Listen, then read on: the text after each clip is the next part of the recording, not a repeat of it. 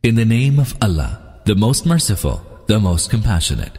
By the horses that charge snorting, then raise sparks of fire by their hoofs, then raid by the dawn, and blaze a trail of dust, and penetrate deep into a host.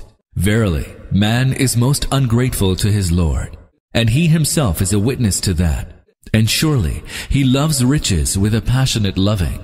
Is he not aware that when whatever lies buried in the graves is overthrown, and the secrets of the hearts are laid bare and examined, surely on that day will their Lord be fully informed about them.